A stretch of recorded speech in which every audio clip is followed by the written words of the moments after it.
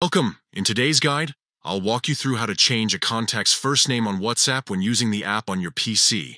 With the latest update, this process is straightforward and quick. Let's get started.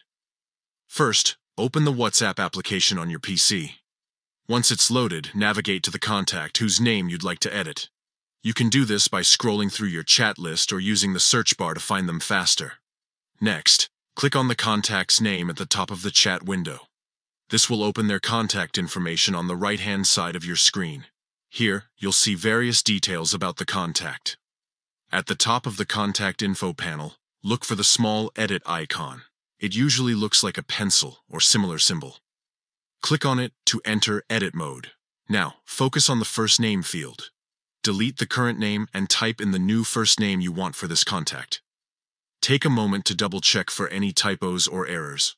Once you're satisfied with the changes, click on the Save button.